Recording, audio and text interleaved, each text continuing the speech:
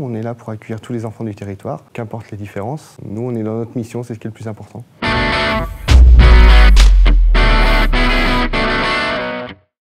Emeline Leboeuf, je suis directrice de parcours au sein de l'UNAPI 17. Je suis Françoise Bordet, je travaille à l'UNAPI 17 depuis une vingtaine d'années. J'exerce dans le médico-social depuis une trentaine d'années. Je m'appelle Julien Tuffet, je suis directeur du centre de loisirs pour les 3-12 ans.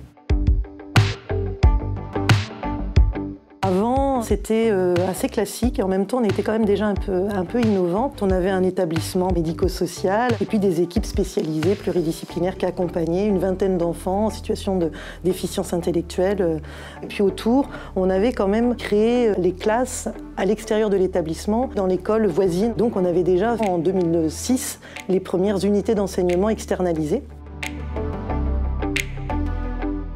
Concrètement, depuis le virage inclusif, maintenant c'est une institution qui demande pour qu'on puisse accueillir des enfants du territoire. L'IMP prend un premier rendez-vous avec nous pour qu'on puisse euh, faire connaissance des problématiques de l'enfant. Il présente les problématiques aussi à toute l'équipe en réunion d'équipe. Les premières fois, l'éducatrice accompagne les enfants et, euh, dans la mesure du possible, se retire petit à petit pour qu'on puisse accueillir sans encadrement spécifique.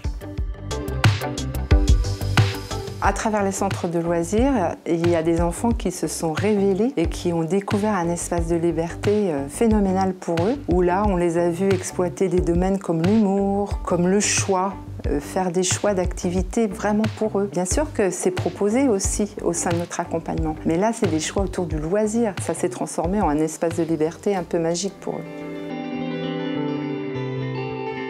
Certains salariés ont été assez déstabilisés, comme s'ils perdaient une identité professionnelle ou comme s'il n'y avait plus d'institution. Certains euh, éducateurs se retrouvaient en fait euh, au milieu d'autres euh, professionnels, mais d'un autre secteur, et donc c'est pas la même culture. Et sous le regard des autres, il y avait cette peur du jugement aussi.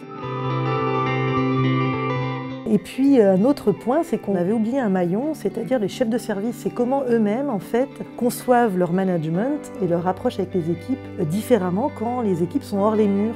En fait, il faut euh, créer euh, d'autres repérages, euh, cadrer les choses différemment. Donc là, on forme tous les cadres de proximité, en fait, à manager des équipes à distance, conduire le changement, cette transformation de l'offre expérimenter.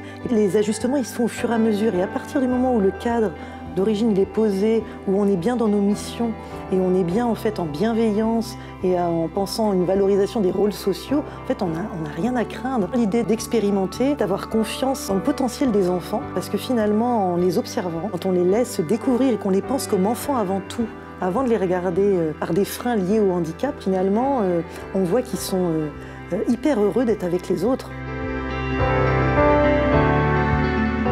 À travers la transformation de l'offre, moi je me sens un petit peu comme un chercheur d'or. En fait, je vais découvrir d'autres contrées. Ça me plaît assez parce que du coup, ça me ramène une nouveauté aussi dans mon travail. Ça m'interroge différemment. Ça m'oblige à me réajuster. Je me sens un peu pionnière dans cette nouvelle façon de faire. Mais voilà, il y a encore plein de choses à faire. Après, il y a tout le travail en équipe aussi, où il faut que toute l'équipe y aille. Et c'est parfois un peu difficile. Il n'y a pas une bonne ou une mauvaise façon de faire. L'ancrage territorial est quelque chose d'important. Derrière, c'est comment on peut donner quelque chose. Alors on peut donner en termes de formation, mais on peut donner en termes de mise à disposition de nos locaux. Être prêt aussi à pas que à les demander, mais aussi à offrir. En tant que responsable du secteur enfance, bah, je trouve que c'est plutôt valorisant de mettre ça en place. Je pense qu'on devrait accueillir tout le monde et qu'on ne doit pas se poser la question de qui on accueille ou pas. C'est notre rôle, c'est nos missions, donc on ne doit pas avoir à se poser cette question.